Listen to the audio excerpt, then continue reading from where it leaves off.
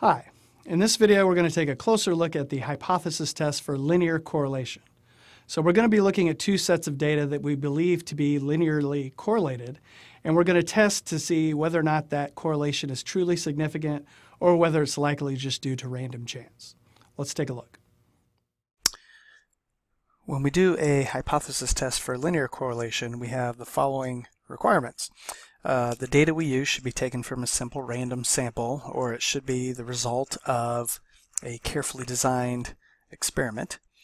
Uh, a scatter plot of the data should appear to show a linear relationship. Uh, a residual plot of the data does not appear to show any pattern, and we use the test statistic, it is the t statistic. Uh, the formula is r times square root of n minus 2 over the square root of 1 minus r squared, uh, where r is the Pearson uh, correlation, the Pearson linear correlation coefficient. So in terms of requirements, uh, we're just going to check a couple of plots as we do this, and I'll show you how to do that uh, kind of as we go. Let's look at this example. A professional baseball pitcher claims that he gets better velocity on his fastball when the temperatures are warmer. The following data were taken from a random sample of games that the pitcher pitched in. So we're going to test the significance of linear correlation at the alpha equal 5% level of significance. So we want to see if there is a significant linear relationship between the game time temperature and this pitcher's maximum uh, fastball velocity. Okay, so first let's talk about the hypotheses. Um, your null hypothesis is going to be that there is no linear correlation. Oftentimes you'll see that written as rho uh, equals zero. So there is no linear correlation here between these two sets of data. Your alternate hypothesis uh, is either going to be that there is linear correlation or we might have something more specific like there is a positive linear correlation or a negative linear correlation. And again, we kind of want to look at what's being claimed in the problem. The pitcher claims he gets better velocity when the temperatures are warmer. So in other words, as the temperature goes up, uh, he claims his velocity will go up. Okay, so his claim is that there is a positive linear correlation, or uh, rho greater than zero. Okay, if there's a claim being made that uh, the response variable should go down as the explanatory variable goes up, uh, your alternate hypothesis would be negative correlation.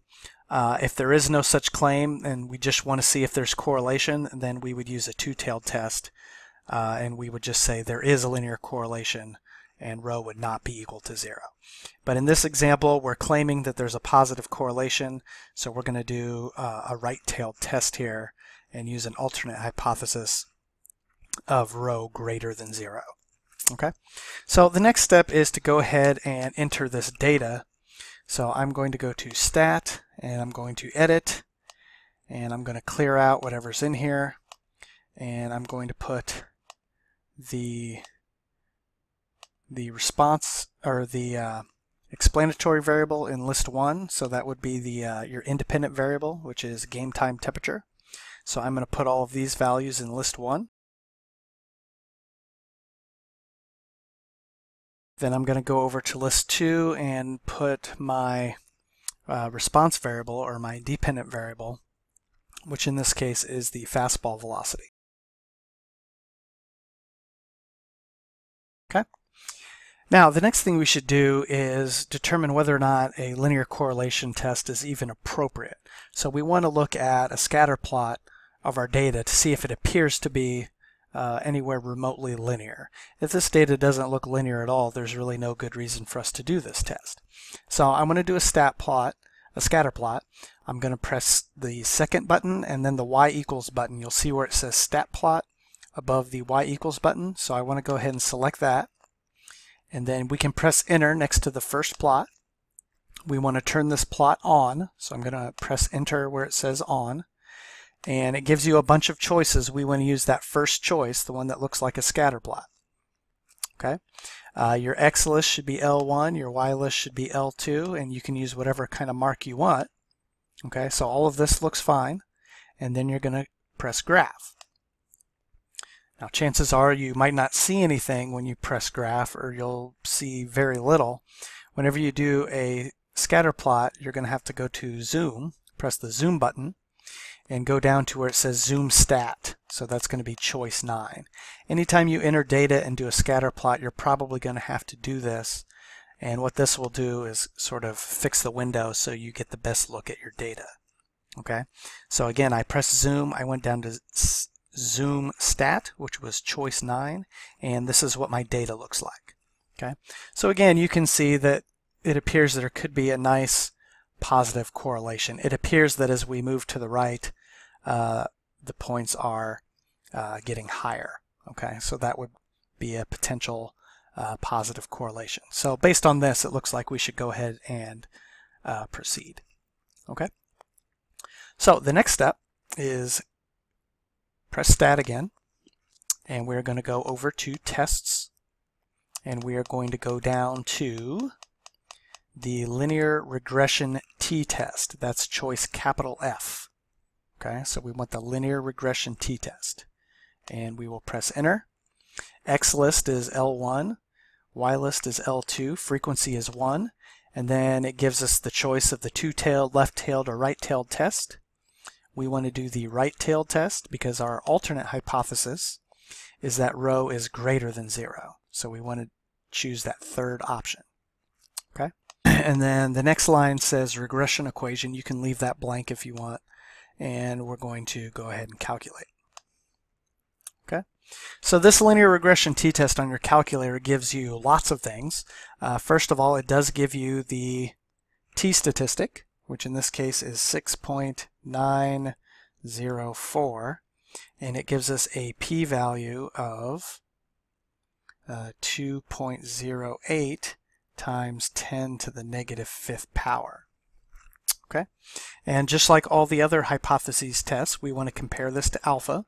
Alpha is 0.05. Our p-value is less than 0.05, which means we are going to reject the null. Okay. So if we reject the null doing uh, this particular hypothesis test, that means we do have uh, significant evidence indicating that there's a positive linear correlation between these two variables. So that's the conclusion we would make. So we could say that there is sufficient evidence to support the pitcher's claim that there's a positive linear correlation between temperature and fastball velocity. I know that's not exactly what the pitcher said, but we know we know what he meant, okay? And the evidence uh, for the, from this hypothesis test supports that. Now there is one other thing we want to check. Um, it's always a good idea to look at a residual plot when you do this just to make sure we're not uh, missing something. Okay, so I'm going to show you how to do a residual plot. The first thing we want to do is uh, select quit to go back to the home screen. So quit you'll see above the mode button. So I'm going to press second and the mode button. And then what I want to do is I want to go to the list menu which is above the stat button. So I'm going to press second and then the stat button. And I want option number eight uh, which says residual. Okay, so if you go ahead and select that option, it'll take you back to the home screen. And right next to this, we want to hit the store button, which is down here above the on button. So hit store. And then I'm going to put this into list 3. I have my data in list 1 and list 2. So I'm going to store the residuals in list 3. So I'm going to press the second button and the 3 button. And I'm going to press enter. And this is going to compute all the residuals and put them into list 3. So now if I go to stat and edit and look at list 3, it computed the residual. So what the residual is, I'll remind you, is the difference between the actual value that I have for fastball velocity, so my actual fastball velocity, and the fastball velocity that would be predicted by my linear regression line, which we'll look at in a second as well. But uh, the idea is if we have a strong correlation, these numbers are all small. If some of these residual numbers are big, then our correlation isn't that strong. But the main thing we want to look at is if there's some sort of pattern here to the residuals. Because if there's some sort of pattern, it means we might be missing something uh, and it's not just a straight correlation between these two variables. There might be something else going on uh, that we haven't accounted for. Okay, so we want to plot these residuals. So I'm going to go back to stat plot So that's second y equals. And I'm going to do the same thing. I'll just go back into plot 1. Everything's the same, but for your y list, instead of plotting L2, I want to plot L3. So I want the x list to be L1 and the y list to be L3. This will plot the residuals. Okay, so then I'm going to hit graph and you're going to have to do zoom stat again. Every time you change a scatter plot, you're going to need to do zoom stat again so you can see it. So again, press zoom and choose option number 9 and there is a plot of our residuals. And what we're looking for here is this should basically look random. We don't want to see any sort of, if these seem to fall in a line, uh, that would be a problem. If they kind of go up and then go down, if there's any sort of pattern here, it means we're likely missing something uh, in this test. But as long as it looks scattered like this one does, then uh, we're probably okay. Okay, but we do want to check that. Now, the last thing I'm going to do is go back to stat, go back to that linear regression t-test. So that was choice capital F. And keep that all the same, the same way we did it before. I just want to go back to the results because I forgot to write down a couple things. Um, the other thing the test gives us is our linear regression line. So notice at the top here it says y equals a plus bx. That means A is the y-intercept of my regression line and B is the slope. And then it gives you A and B down here. So based on this, I can write the equation of my linear regression line. It's going to be y hat equals 0.1628 x hat uh, plus 80.2347 okay, because my slope is b, which is 0.1628, and my y-intercept is a, which is 80.2347. So this is the equation of my linear regression line. Now, if your test tells you that your correlation isn't all that strong and you're not rejecting the null, then we don't really want to use this equation for anything. Okay, but because we have significant evidence to suggest that there's a positive linear correlation, and the scatter plot looked linear and the residual plot didn't seem to have any pattern, that means this is going to be a good model for making predictions. Okay, so if we know that the game time temperature uh, tomorrow is going to be 84 degrees, we could use this equation to predict what this pitcher's maximum fastball velocity will be. Okay, we might make a decision whether to go with him or somebody else uh, based on that. But once we've uh, once we've solidified that there's a strong positive linear correlation here, uh, we can use this equation to do uh, make predictions. Okay, we would not want to base predictions on this model if we did not have significant correlation. And one other thing to look down here, uh, if you want to look at the Pearson correlation coefficient, that's R. That's the last thing this gives you, and it is 0.9. And remember, if we're close to 1 or close to negative 1, that's a strong correlation. If R is closer to 0, that's more of a weak or non-existent correlation. Okay, so we have a nice strong correlation here, an R value of 0.9 and a very small p-value, uh, which means the picture was correct. Uh, there does seem to be a positive linear correlation between these two variables. Okay, so that's an example uh, how we can do a hypothesis test to test the strength of a potential uh, linear correlation.